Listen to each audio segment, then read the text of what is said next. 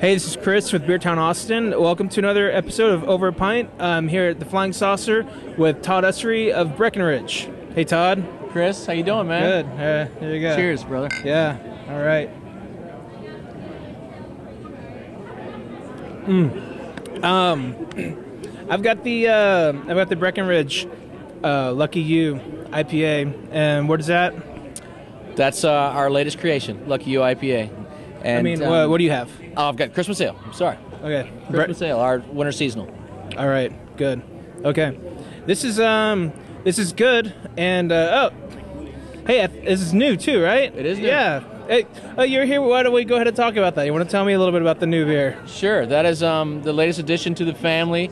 We've got um, 13 beers that we're doing year round at any given time, and this is uh, like we say, it's, it's our. We have 13 children we love for different reasons, and this is the latest one to the litter.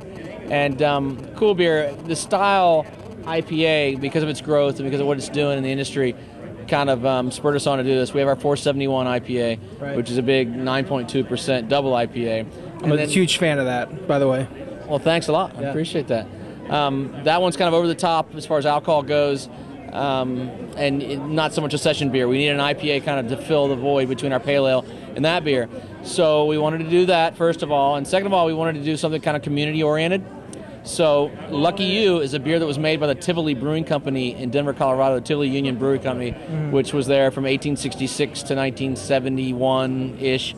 Um, anyway, they made a Lucky U Denver Special Bitter, and that's where we got the name from. We went to them and got permission because now that's a student union for um, a metropolitan urban campus for Metro State, University of Colorado Denver, and Colorado Community College. The, stu- the old brewery is. their student union is in the old brewery building. Okay. Oh, The wow. kettle's still there, the mash tun's still there. It's it's really cool. And the old brewers lounge is still there, and that's now a student lounge and stuff. So we got permission, and we're giving five percent of our net profits back to the um, the the Tivoli Higher Education Student Union Society to preserve that building, to keep paint up and to keep landscaping up and whatnot. So okay. Um, yeah, it's community ale as well, but. Um, So you want to give me a little bit of the uh, the specs on this? You bet. 6.2% alcohol by volume. Um, traditional American India Pale Ale, if there is such a thing. Yeah. But um, we use seven hop varieties in this one. Wow. And I used four that I'd never used before. And I'll give you a couple of those. Okay. Um, Apollo, right. Amarillo. I'd never used either one of those two before. I'm a huge Amarillo fan. Yeah, you got to be careful with Amarillo because Yeah, it's high on the alpha yeah. acids the scale, and you don't want you know. Sometimes I think if you use too much, I know this because of trying this Yeah. beer. We worked on this beer for about 18 months, but um, you know you can go over the top with that and get Yeah. some really lingering, biting bitterness. But um, so we were careful with the, with the Apollo. But um, all in all, it came out real well. And using the seven hops, the goal there was to create kind of a hop waterfall, cascade of earthiness, um, floral, citrus, and some pine notes as well. Yeah. So. Um, kind of cover all the hop bases. we were trying to do that, yeah, but have it finish out clean and have it be Right. drinkable, highly Yeah, drinkable, and and you know a beer that you could have more than one. yeah, That was the goal with Lucky U. yeah. I think you guys accomplished it. I you know, I, appreciate I uh, went out and got a bottle a couple weeks ago when it first came to Texas, and um, all I've had before that was you know your 471 and your pale. You know, so I, I think it, you know, like you said, I think it really fills the gap. You know, because I, you know, I love the 471, but you know, like I'll have two of them and then go home and drink the rest. Or uh, actually, I've got a friend who's got a kegerator, and he was getting uh, 471 kegs put in his kegerator in his living room, and uh, Maybe wasn't just sitting, hanging out by himself, pounding draft 471s. I don't know, but to you, Jimmy. He was. Cheers to you. Yeah, you didn't you didn't go out to his house and plan on coming back that night. Yeah, sleeping bags at Jimmy's. Yeah, toothbrushes. Anyway, uh, so um, also we've got uh, Zip, uh, this guy right here. This is really special, and uh, if I weren't afraid to cuss on a video, I would about it, but I'm, I'm not gonna. In it, so this is the uh, this is your oatmeal stout on nitro, right? Correct. Yeah. Oatmeal Stout is the first beer that Breckenridge Brewery ever brewed, and it was uh, the first beer that came off at our brew pub up in Breckenridge. And um, that first one that came off was kind of gnarly. It was chunky and it was uh, unfiltered, and it was the first beer that we ever made. Um, it'd be 20 years ago this February.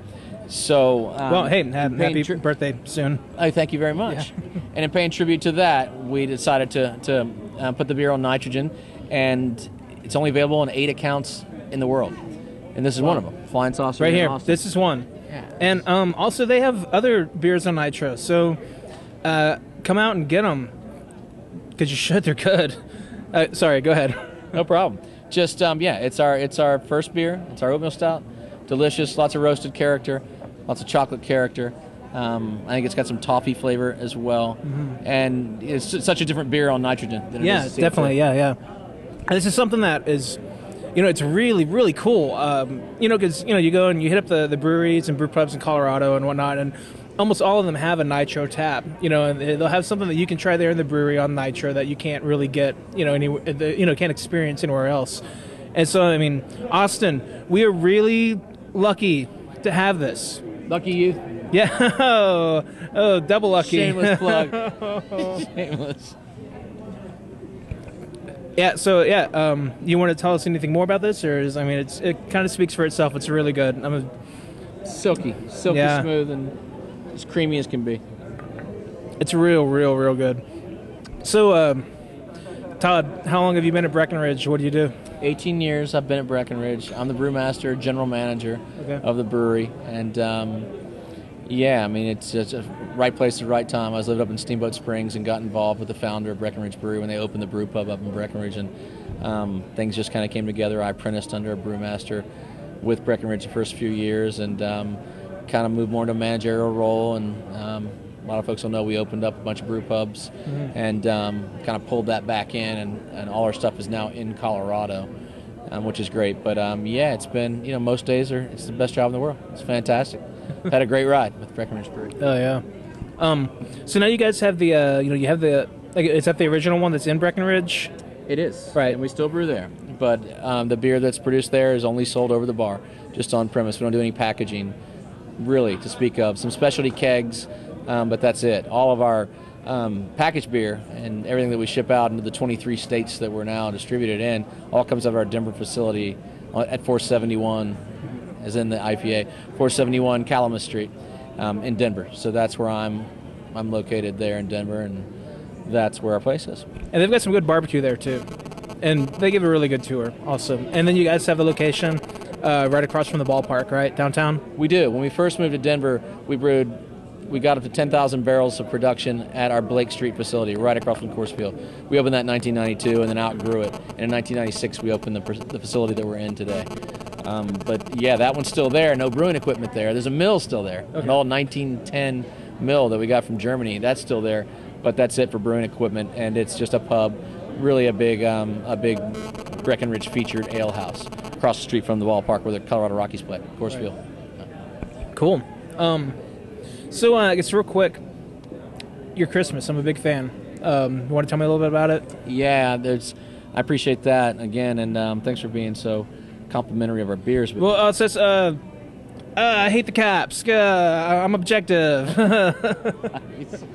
Christmas ale. Um, I'm a big fan of beer tasting like beer, and um, I don't put any spice in it at all. But I did want to make it special. I wanted to make it something that you'd want to take a six pack to a Christmas party and enjoy with friends over the holidays. So I looked for spicy hops, and I found, you know, in, in doing some doing some tastings and doing some different things, I decided on Northern Brewer and Mount Hood. okay. because they give it kind of a spicy character. Um, but otherwise, it's just a solid, solid, strong ale that we've worked on over the years. And um, you know, every year somebody says, "Oh, it's not as, quite as good as last year," or "Oh my God, this one's so much better than last year." so it's amazing. The recipe hasn't changed that much, but we do tweak it from time to time, and um, it, it's become a cult favorite, especially in Colorado.